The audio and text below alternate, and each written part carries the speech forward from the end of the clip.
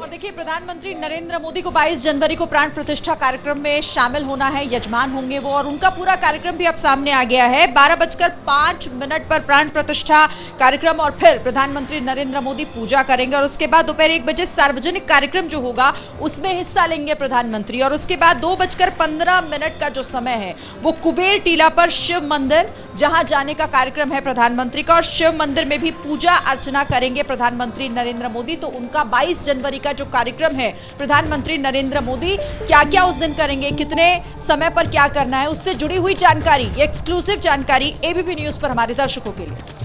जी हाँ तो बारह बज के पाँच मिनट का वक्त जब प्राण प्रतिष्ठा कार्यक्रम में पूजा करने के लिए वहाँ पर प्रधानमंत्री मोदी पहुँचेंगे, राम मंदिर परिसर में 22 जनवरी को ही अयोध्या पहुँचेंगे प्रधानमंत्री मोदी, ये बात साफ़ हो गई है। क्योंकि कयास लगाए जा रहे थे कि एक दिन पहले यहाँ पर आएँगे, लेकिन ये तय है कि अब बाईस तारीख को ही यहाँ पर आ रहे हैं।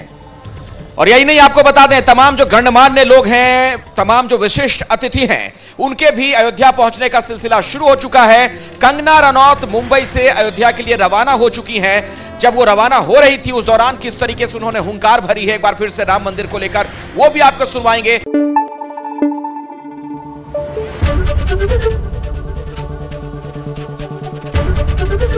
एबीपी न्यूज़, आपको रखे आगे।